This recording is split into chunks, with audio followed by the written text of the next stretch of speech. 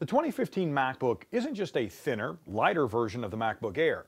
No, Apple has completely redesigned this machine from the ground up, and I'm going to show you how. I'm Bill Detwiler, and this is Cracking Open.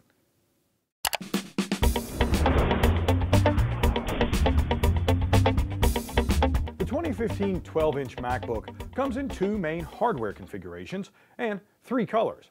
Now our gold test unit had a 1.1 gigahertz Intel Core M processor, 8 gigs of RAM, 256 gigs of storage, an Intel HD Graphics 5000 chip, and a Retina display.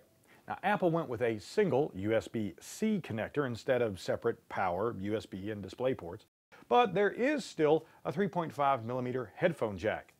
The keyboard has been completely redesigned. The mechanics under the keys, the actual keys themselves, and the lighting is all new. The new MacBook also has Apple's Force Touch trackpad, which the company also uses on the 2015 MacBook Pro. Now, those are just the changes you can see on the outside. There's lots more to see on the inside, so let's get cracking.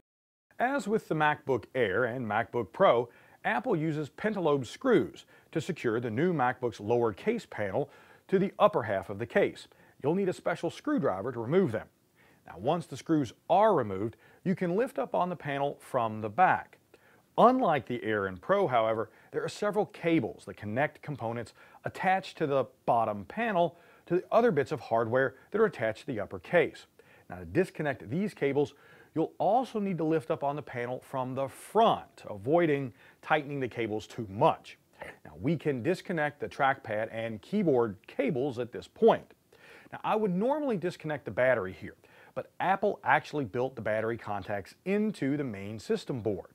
Now I can try to isolate the battery by shimming a piece of plastic between the board and the battery, but this seems like a really odd way to disassemble the laptop.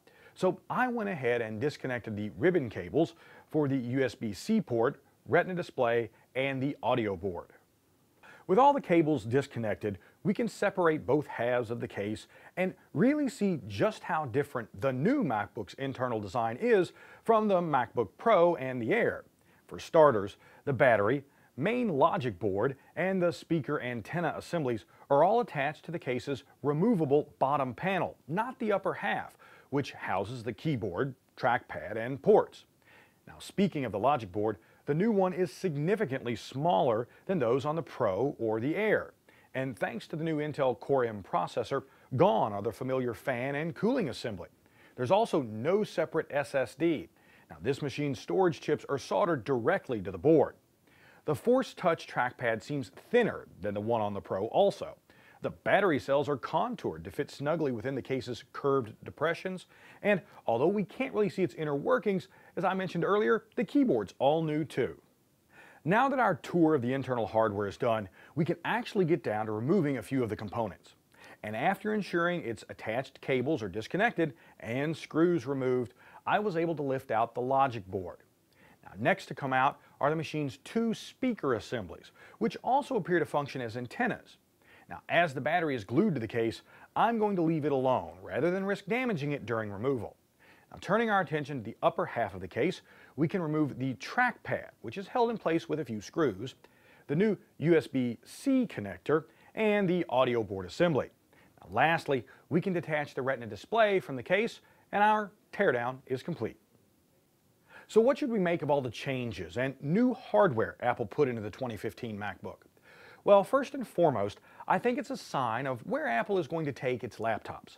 Eventually, all Apple portables will have the new keyboard, Force Touch trackpad, and Retina display. And as processors get more powerful and produce less heat, internal fans will disappear. Now, as for their product lines, Apple may keep the Pro around for power users, but the Air's days are pretty much numbered. There's just no reason for Apple to offer two distinct ultra-portable lines.